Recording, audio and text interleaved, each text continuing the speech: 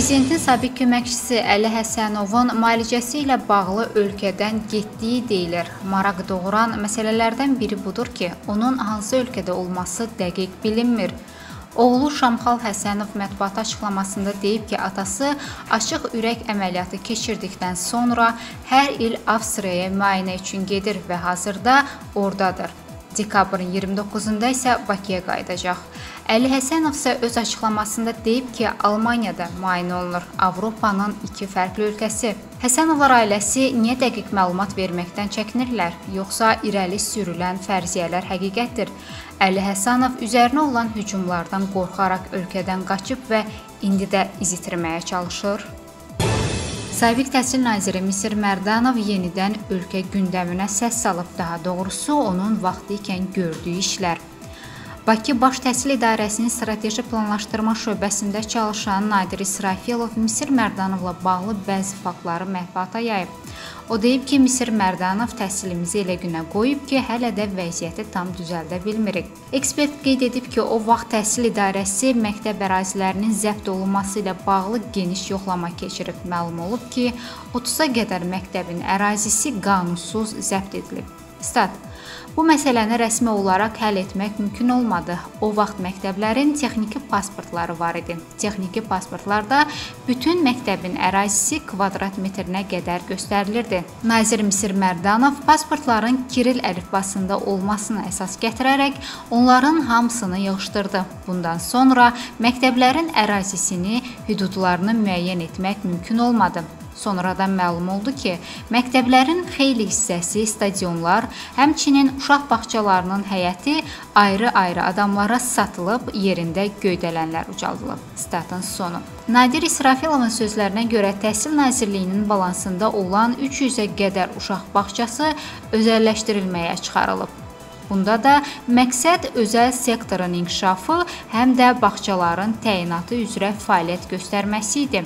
Özəlləşdirmədən sonra bağçaların 250-si öz təyinatı üzrə işləmədi. Bağçalar söküldü və yerində restoran, göydələn və gözəllik salonları tikildi. Məsələ ilə bağlı sabiq təhsil naziri Misir Mərdanovla əlaqə saxlamağa çalışdıq, lakin o telefon zənglərimizə cavab vermədi. Milli Elmlər Akademiyasının illik ümumi yığıncağında akademiyada 2 birinci vitse-prezident vəzifəsinin təsis olunması təklif edilib. Təkliflə akademiyanın prezidenti Ramiz Mehdiyev çıxış edib. Yığıncaqda humanitar və ictimai elmlər üzrə birinci vitse-prezident vəzifəsinə İsa Həbibbəylinin, təbiət elmləri və dəqiq elmlər üzrə isə akademik İbrahim Quliyevin namizədliyi irəli sürülüb. Gizli səsvermə nəticəsində onlar vitse-prezident postunu tutublar. Salyan şəhərində polis özünü yandırıb. Məlumata görə rayonun Xələc kənd sakini 1986-cı il təvəllüdlü Fətiyev Miri Bəxtiyaroğlu üzərində gəzdirdiyi yanacağı üstünə tökərək özünü yandırmağa cəhd edib. Yanında olan polis əməkdaşları tərəfindən vaxtında müdaxilə edildiyindən yanğın söndürülüb. Yüngül yanıq xəsarətləri alan Fətiyev Salyan rayon mərkəzi xəstəxanasına çatdırılıb. İlkin tibbi yardım göstərildikdən sonra Bakıya göndərilib. Hadisənin səbəbləri hələ ki məlum deyil. Daxili İşlər Nazirliyinin mətbuat xidmətinin rəisi polis polkovniki Ehsan Zahidov report açıqlamasında bildirib ki, Miri Fətiyevin özünü yandırmaq cəhdinin qarşısı iş yoldaşları tərəfindən alınıb. Ehsan Zahidov deyib ki, Miri Fətiyev əllərindən yüngül xəsarətlər alıb hazırda Daxili İşlər Nazirliyinin hospitalında müalicə alır.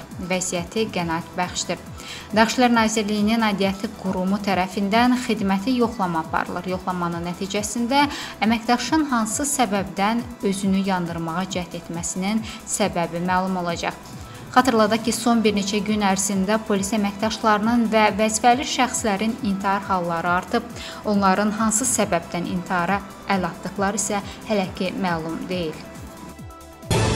Daxili İşlər Nazirliyi və Baş Prokurorluğun mətbuat xidmətləri hüquq müdafiəçisi Oqtay Gülalıyevin keçirdiyi avtoqəza barədə birgə açıqlama yayıb. Açıqlamada deyilir ki, aparılmış istintaq əməliyyat tədbirləri nəticəsində əldə edilmiş sübutlarla oktyabrın 29-da çağrı nömrəsi 9933 olan A taksi şirkətində Taksi sürücüsü kimi işləyən Kənan Abdullayevin idarə etdiyi Hyundai Accent markalı avtomobillə saat 17:22-də Nəsimi rayonunun 28 may və Puşkin küçələrinin kəsişməsində sola dönərkən Puşkin küçəsindəki piyada keçidi ilə yolu keçən Oqtay Gülalıyevi ehtiyatsızlıqdan vuraraq onun ağır dərəcəli bədən xəsarəti almasına səbəb olması müəyyən edildikdən Kənan Abdullayevin Cinayət Məcəlləsinin 260 63.1-1-ci maddəsi ilə təqsirləndirilən şəxs qismində cəlb edilmiş və barəsində başqa yerə getməmək haqqında